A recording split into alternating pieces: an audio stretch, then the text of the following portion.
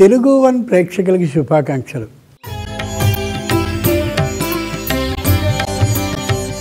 ఓ మంచి ప్రశ్నని అడిగాడు. ప్రశ్నకి ప్రమాణబద్ధమైనటువంటి సమాధానాన్ని విందాం. గ్రహశాంతి అంటే ఏమిటి? ఎందుకు? ఇది ప్రశ్న.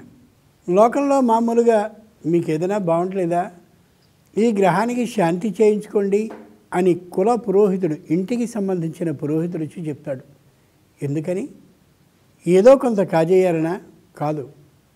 గ్రహ శాంతి అంటే ఏమిటి? ఎందుకు చేయించుకోవాలి? మనకి నవ గ్రహాలున్నాయి. ఈయన శశి కుజరాహు జీవ మంద జ్ఞకేతు భృగుజ ఇతి నవానాం కృతికాదిక్రమేణ ఈయన అంటే సూర్యుడు.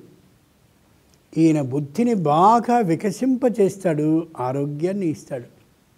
శశి చంద్రుడు సంపూర్ణమైనటువంటి మనశ్శాంతిని కలగచేస్తాడు. మనసు అకస్మాత్తుగా అటు ఇటు ఆందోళనతో ఊగిసలాడుతున్న వేళ తనని కానీ ఆరాధించినట్టయితే ధైర్యాన్ని ప్రసాదించి భయం లేదని వెన్ను తట్టి చెప్తాడు. కుజ కుజో మనస్తాపకారక ఈయన. మనస్తాపాన్ని కలిగించే లక్షణం కలిగినవాడు. ఆయన్ని కానీ ఆరాధించినట్టయితే మనసుకుండే తాపాన్ని అలా తీసి పక్కకి వెళ్ళేలా చేయగలిగిన సమర్థుడు. రాహు ఈయన కంటికి ఉండేటటువంటి బలాన్ని తగ్గిస్తాడు. అలాగే శరీరంలో మాంసంలో దోషాన్ని కలగచేసేటటువంటి లక్షణం కలిగినవాడు. ఇవన్నీ కానీ ఆరాధించినట్టయితే చక్షుషో బలం కళ్ళకి బలాన్ని ఇస్తాడు. మాంసంలో ఉండే దోషాన్ని తొలగించగలను గలడాయన జీవ జీవ అంటే గురుడు అని అర్థం. గురుణ్ణి కానీ ఆరాధించినట్టయితే అంటే బృహస్పతిని ఆరాధించినట్టయితే మనం ఏ శాస్త్రానికి సంబంధించినటువంటి వాళ్ళమో? అంటే వృత్తి ఉద్యోగాల్లో దేన్ని ఆధారంగా చేసుకుని వృత్తి ఉద్యోగాలను చేస్తున్నామో దాంట్లో నైపుణ్యానికి సంబంధించినటువంటి ఆలోచనని నిరంతరం ఈ మెదడనే పెట్టెలో వేసేటటువంటి వాడు గురుడు. ఇన శశి కుజరాహు జీవ మంద మంద అంటే శనిగ్రహం. శని ఉత్తముడు. ఆయన మనకి జీవితంలో ఒక పాఠాన్ని నేర్పుతాడు. ఆయన్ని కానీ ఆరాధించినట్టయితే ఇలా చెయ్యొద్దురా ఇలా చెయ్యరా నువ్వు అని మనకు ఒక మార్గాన్ని చూపిస్తాడు. జ్ఞ జ్ఞ అంటే బుధుడు అని అర్థం బుధగ్రహం. బుధుడు మంచి పాండిత్యం కలిగినటువంటి వాడు పండితుడు. ఆయన మనం దేన్ని ఆధారం చేసుకుని ఉద్యోగాన్ని చేస్తున్నామో దాంట్లో కొత్త మెళుకువలన్నింటినీ నేర్పగలిగిన శక్తి ఉన్నటువంటి వాడు. విశేషించి మాట్లాడడంలో నైపుణ్యాన్ని వ్యాపారంలో మంచి అభివృద్ధిని ధనార్జనని చే చేయించగలిగిన శక్తిమతు గ్రహం బుధుడు. అంచేత బుధుడిని ఆరాధించినట్టయితే వ్యాపారము అభివృద్ధి చెందుతుంది మాట్లాడగలిగిన శక్తి బాగా లభిస్తుంది. కేతు కేతు అనేటటువంటి గ్రహాన్ని కానీ ఆరాధించినట్టయితే తీర్థయాత్రలకు వెడదాం దేవతా సేవ చేసుకుందాం. ఈ లౌకికమైన ప్రపంచానికి కొద్ది దూరంగా ఉండి సుఖంగా సానందంగా జీవితాన్ని గడుపుదాం. ఇట్లాంటి ఆలోచనలన్నీ కలుగుతాయి. ఈ కేతువు తరువాతి గ్రహం భృగుజ ఇతి నవానాం కృత్తికాదిక్రమేణ.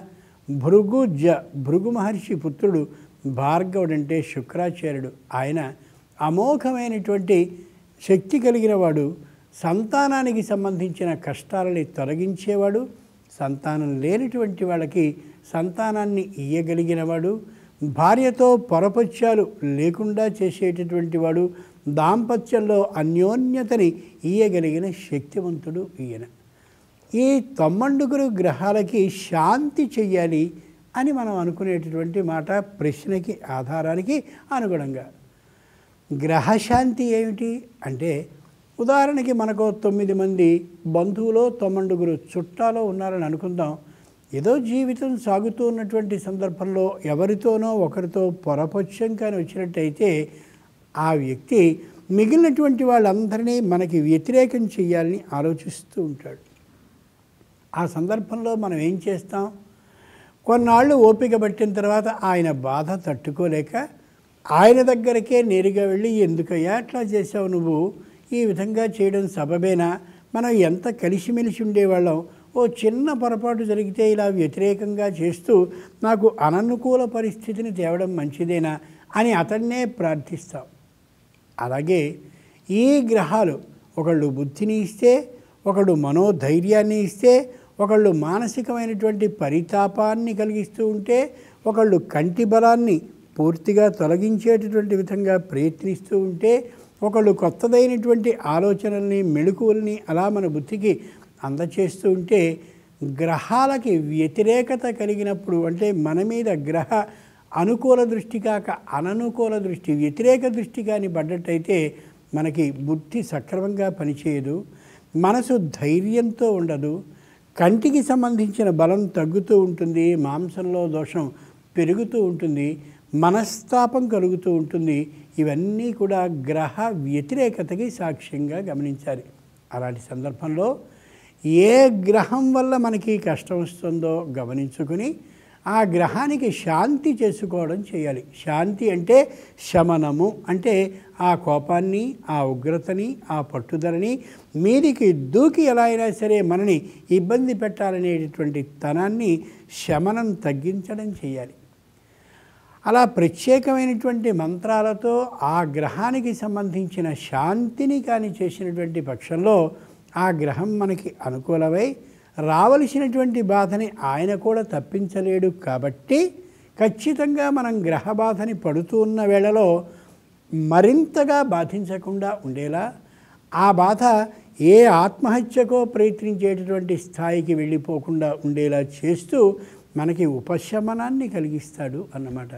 కాబట్టి గ్రహ శాంతి ఎందుకు చేయించుకోవాలి అంటే గ్రహ బాధ పెరిగిపోయినటువంటి కాలంలో ఏదో అఘాయిత్యం చేయకుండా ఉండేందుకు అనవసరమైనటువంటి నిర్ణయాన్ని చేసి దానివల్ల వ్యతిరేక ఫలితాన్ని పొందకుండా ఉండేందుకు గ్రహ శాంతిని చేసుకోవాలి అని పెద్దలు చెప్పినటువంటి మాట.